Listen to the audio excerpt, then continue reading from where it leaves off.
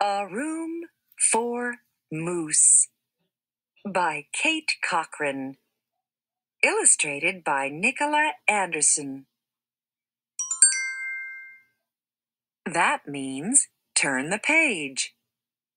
Ooh, uh. High frequency words. Another. Does. Some. Wash. A Room for Moose by Kate Cochran. Illustrated by Nicola Anderson.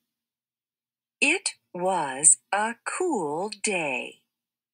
Owl stood by his bookshop. Hoot, hoot.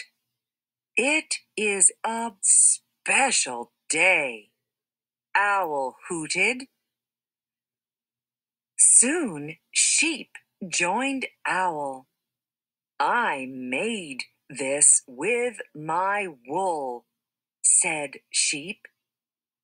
Owl took a look. It is a good gift. Kangaroo hopped by with his big broom. I must wash the windows.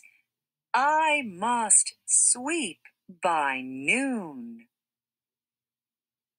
Goose scooted out of her coop. I cooked some good food. I will make a sign for the roof, too. We must be done by noon, said Sheep. We have wood, said Goose. Who has the tools? Owl does. They worked hard and were done by noon. Then they waited. Clip, clop, clip, clop.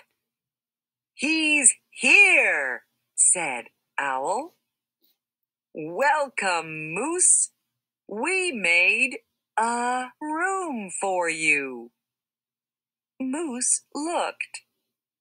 Thanks, he said. It's the best room for a moose.